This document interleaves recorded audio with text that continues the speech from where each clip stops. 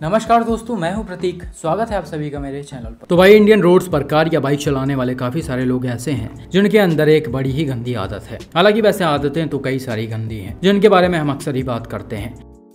लेकिन एक जो सबसे ज़्यादा देखा जा रहा है, वो है बिना देखे अपने गाड़ी को लिंक रोड से मेन रोड पर ले आना। मतलब आप ये समझ सकते हैं कि लोगों के दिमाग में अभी तक ये चीज़ नहीं बैठ पाई है कि इन दोनों रोड्स के बीच डिफरेंस क्या होता है। ये भाई लोग बिना इधर उधर देखे स्पीड में अपने गाड़ी को सीधा मेन रोड पर घुसा देते हैं जिससे कई बार सामने चल रहे लोग अनकंट्रोल हो जाते हैं और एक्सीडेंट हो जाता है।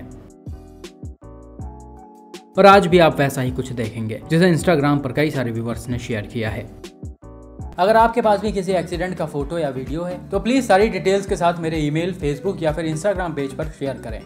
यह इंसिडेंट रिसेंटली कर्नाटका में किसी जगह पर हुआ है जिसे मिस्टर सूर्या अभी ने अपने इंस्टाग्राम पर डाला है।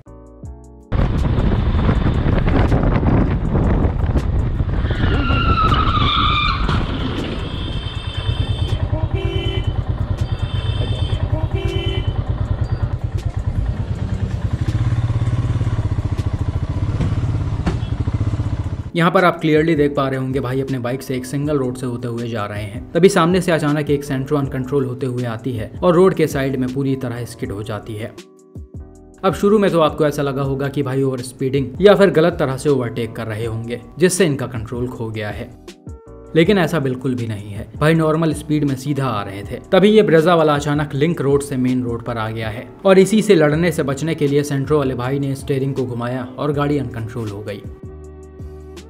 हालाँकि यहाँ पर अच्छी बात यह थी कि कोई बड़ा हादसा नहीं हुआ। गाड़ी स्किड करते हुए गई है और इसका पहिया भी हवा में उठ गया था, लेकिन फॉर्चुनेटली ये पलटी नहीं, वरना शायद अंदर बैठे लोगों को चोटें आ जाती। तो भाई आप देख सकते हैं कैसे कुछ लोग बिना सोचे समझे कहीं भी अपनी गाड़ी घुसा देते हैं। हमेशा ही बताया जाता है कि ऐसे जगहों पर सीधा जा रहे गाड़ियों को प्रायोरिटी देनी चाहिए, लेकिन फिर भी लोग पता नहीं किस जल्दी में रहते हैं। वो ना खुद के नुकसान के बारे में सोचते हैं और ना ही दूसरों के। खैर, आप सभी ऐसी गलतियाँ मत करें। रोड पर चलते हुए हमेशा रूल्स को फॉलो करें, वरना ऐसा सिचुएशन बन सकता है। बाकी आपका इस पर क्या मानना है, कमेंट में बताइए।